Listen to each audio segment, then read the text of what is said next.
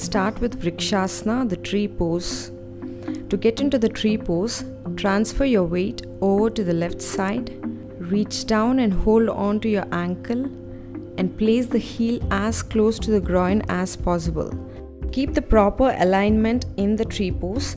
Press back with the left thigh and straighten your spine, lengthening your upper body. If you're not able to take your heel closer to the groin, start placing your heel closer to your knee, keeping the right hip joint externally rotating. And then slowly come up as you maintain your balance.